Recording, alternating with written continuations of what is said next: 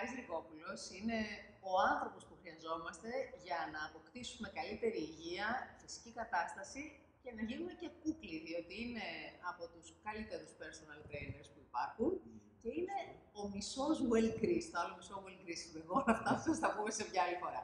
Λοιπόν, Χάρη, μου είπες ότι έχει γεμίσει το Instagram με ασκήσεις και δεν χρειάζεται να δείχνουμε ασκήσεις. Σύμφωνα. Έτσι. Έτσι είπες, αλλά εγώ δεν σε πιστεύω. Παρ' όλα αυτά, Ωραία. θα πάμε στη δική σου λογική. Ωραία. Και θα δώσουμε κίνητρα στον κόσμο να βγει και να κάνει γυμναστική. Ωραία.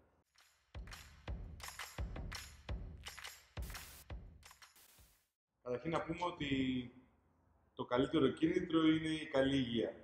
Πρώτα απ' όλα. Η καλή υγεία φέρνει το κορμί που θέλουμε, φέρνει την ενέργεια που θέλουμε και θα πούμε πώς μπορούμε να έχουμε καλή υγεία μέσα από τη γυμναστική και τη διατροφή. Εγώ δηλαδή για να καταλάβετε, λέω στο χάρη του καιρό, σε παρακαλώ, χτίσε μου κορμί. Και μου λέει αυτό είναι επακόλουθο. Πρώτα φροντίζεις την υγεία σου και σαν συνέπεια έρχεται και το ωραίο το κορμί. Και έχεις δίκιο σε αυτό.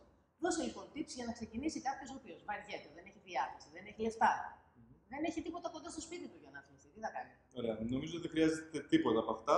Μάλλον χρειάζεται τη διάθεση. Πρέπει πρώτα απ' όλα να πάρει μια απόφαση εσωτερικά μόνος του ότι θέλω να βελτιώσω τη ζωή μου. Το πρώτο πράγμα που πρέπει να κάνει είναι να βάλει ένα κομμάτι χαρτί κάτω και να δημιουργήσει ένα πλάνο. Σε αυτό το πλάνο θα λέει πόσο χρόνο έχω να διαθέσω, πόσα χρήματα έχω να διαθέσω, αν δεν έχω καθόλου δεν πειράζει, και τι φυσική κατάσταση νομίζω ότι έχω για το χρόνο που θα διαθέσω. Μάλιστα. Το μίνιμουμ του χρόνου τα χρήματα τα αφήνουμε έξω. Ωραία. Πάμε στο δωρεάν τώρα. Το μήνυμο του χρόνου είναι 30 λεπτά την ημέρα για 5 μέρες την εβδομάδα. Μμμ. Οπότε δίνουμε και δύο ρεπό. Μμμ. Δεν χρειάζεται να είναι έντονη η γυμναστική. Μπορεί κάποιος να ξεκινήσει με ένα απλό περπάτημα, το οποίο όμως θα είναι συνεχόμενο περπάτημα. Για 30 λεπτά την ημέρα κάθε μέρα. Στο όριο του λαχανιάσματος. Μπράβο.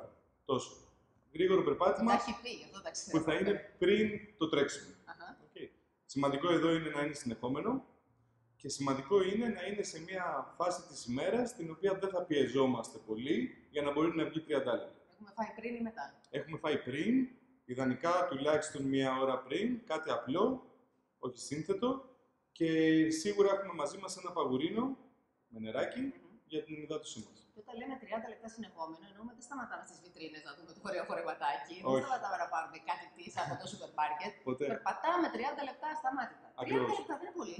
Όχι. Δεν είναι πολύ. 30 Α, λεπτά δεύτερο. όλοι μπορούν να βρουν το χρόνο. Δεύτερο που νομίζεις ότι πρέπει να κάνουμε για να πούμε σε μου. Δεύτερο είναι ότι πρέπει λίγο να καταγράψουμε τις επιλογές που κάνουμε διατροφικά. Να δούμε τι έφαγα χθες, τι έφαγα από χθες, καθ' όλη τη διάρκεια της ημέρας. Μμμ. Όλοι γνωρίζουμε πράγματα τα οποία δεν πρέπει να τρώμε. Αυτά θα αρχίσουμε να τα βάζουμε σε μία λίστα με κόκκινο στυλό έξω.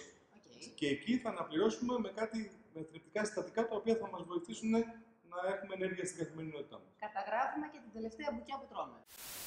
Τρίτο. Τρίτο είναι να έχουμε καλή διάθεση, να βρούμε ένα φίλο και να προσπαθήσουμε να το κάνουμε αυτό μαζί. Πάντα όταν έχουμε ένα φίλο είναι ένα κίνητρο ακόμα να βοηθήσει αυτός σε εμάς και εμείς αυτόν.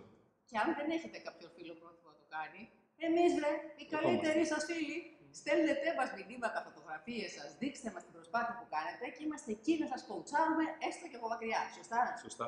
Μέχρι το Well Greece. Μέχρι το Well Greece. Τι είναι το Well Greece. Σε ένα επόμενο επεισόδιο. Καλή αρχή. Καλή αρχή. Θα τα λέμε κάθε εβδομάδα. Και θα μας λέτε